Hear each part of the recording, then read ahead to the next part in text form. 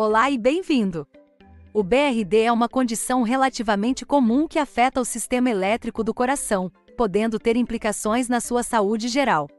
Portanto, se você ou alguém que você conhece foi diagnosticado com BRD ou se você está interessado em aprender mais sobre essa condição, este vídeo é perfeito para você. Então, vamos nos aprofundar no assunto juntos. Você se lembra de como o coração funciona? Deixe-me explicar de forma simples. O coração possui duas câmaras superiores chamadas átrios e duas câmaras inferiores chamadas ventrículos. Quando o coração bate, um sinal elétrico viaja dos átrios para os ventrículos através de um caminho chamado de nó ventricular, ou nó AV, e sistema His-Purkinje.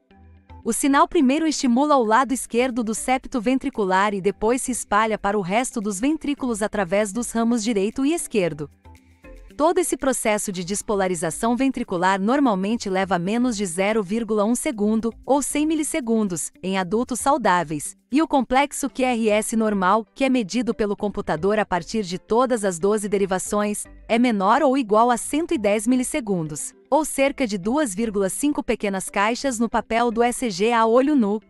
No entanto, se algo interferir neste processo normal, como um bloqueio ou atraso no sistema de ramos, pode tornar o complexo QRS mais amplo ou mudar sua direção. Esta aula se concentra em como os bloqueios ou atrasos dos ramos afetam o complexo QRS e as ondas STT em um ECG.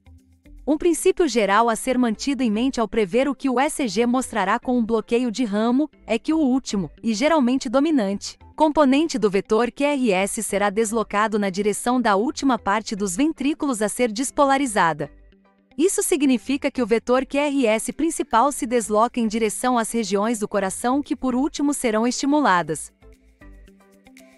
Vamos falar sobre o bloqueio de ramo direito ou BRD para abreviar. Quando o ramo direito é interrompido ou a condução é retardada, ocorre um atraso na estimulação ventricular direita, o que leva a um alargamento do complexo QRS. Normalmente, o septo interventricular é a primeira parte dos ventrículos a ser despolarizada, mas isso não deve ser afetado pelo BRD, porque o ramo esquerdo ainda o estimula.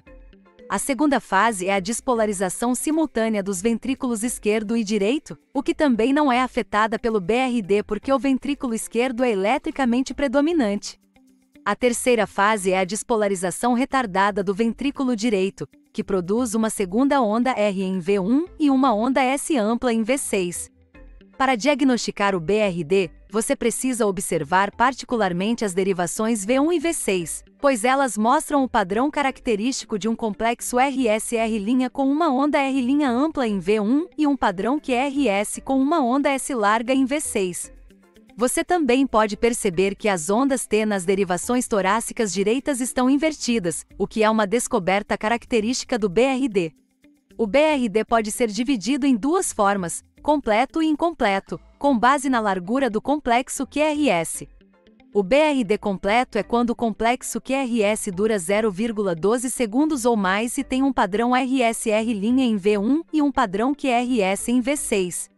Em contraste, o BRD incompleto tem os mesmos padrões de QRS, mas sua duração está entre 0,10 e 0,12 segundos.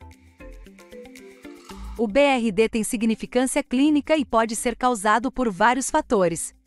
Algumas pessoas o têm sem nenhuma doença cardíaca subjacente, tornando uma anormalidade isolada no ECG, no entanto, o BRD também pode estar associado a doenças cardíacas estruturais, incluindo condições que afetam o lado direito do coração, como doenças pulmonares, lesões valvares, cardiomiopatias e doença coronariana.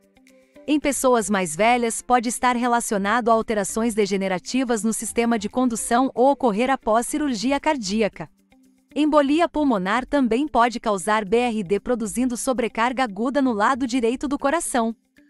O BRD não requer tratamento específico por si só, e pode ser permanente ou transitório.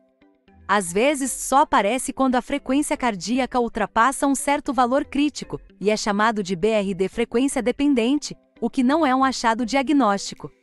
No entanto, em pacientes com infarto agudo do miocárdio da parede anterior, um novo BRD pode indicar um risco aumentado de bloqueio AV total, especialmente quando associado a bloqueio fascicular anterior ou posterior esquerdo e a um intervalo PR prolongado. O novo BRD com elevação aguda do segmento ST no infarto do miocárdio anterior também é um marcador de dano miocárdico mais extenso, frequentemente associado à insuficiência cardíaca ou até choque cardiogênico. Em alguns casos, um padrão semelhante ao BRD, conhecido como pseudo-BRD, é característico do padrão de Brugada e pode estar associado a um risco aumentado de taquiarritmias ventriculares. Vale ressaltar que um padrão RSR linha com duração estreita do que RS, 100 milissegundos ou menos, e uma onda R linha terminal muito pequena, até 2 mm, em V1 e V2 é uma variante normal comum e não deve ser confundido com um bloqueio incompleto do ramo direito do ventrículo. Obrigado por dedicar seu tempo para aprender conosco hoje. Compartilhe este vídeo com seus colegas, inscreva-se em nosso canal e faça uma avaliação positiva. Esperamos vê-lo em breve em nosso próximo vídeo.